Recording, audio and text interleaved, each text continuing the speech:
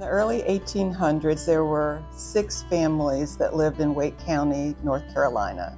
While they were free people of color, free didn't really mean free during that particular time in history. They sent out a lone scout to look at the area to see if it would be lucrative for agriculture because they were farmers. They came back and the report was absolutely it would be. They sold their farms and they traveled by caravan to eastern Vigo County. They built churches, they built schools. Education and their faith were absolutely critical to the character of this community. My family instilled in me a deep love of the land and the history of the people who came before us. The soul of the Lost Creek settlement doesn't lie within facts and figures.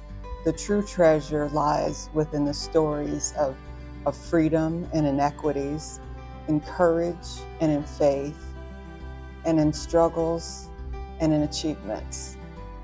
And I am overwhelmed that we are sharing the story that lives in our hearts and that has been demonstrated in our lives for generations. Hi, I'm Allie Midgley, Executive Director of Art Spaces, Wabash Valley Outdoor Sculpture Collection, Inc., in Terre Haute, Indiana. This project has the potential to impact thousands of people each year, those living in and around Terre Haute, and our many visitors. Through public art, we will be able to help residents and visitors alike to become familiar with our history and this remarkable story of resilience, perseverance, and determination. You can play a crucial role in helping us tell this amazing story through a public sculpture in Deming Park. We are in the final stages of fundraising for this sculpture, but we need your help to meet our $30,000 goal. If we meet this goal, the Indiana Housing and Community Development Authority will provide a $30,000 match for this campaign. Please consider making your gift today. Together, we will soon bring more recognition to the Lost Creek Settlement's inspiring story of courage, resilience, and determination. But that's one of the traits that I love so much about the Lost Creek settlement the family love, the family connection. I grew up with my grandparents, and they were so proud.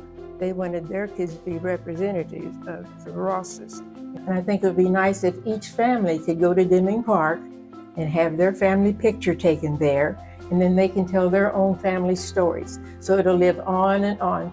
But when they start seeing this community come together around our sculptor at Deming Park, I think that's going to bring a lot of love and meaning and togetherness back to our community.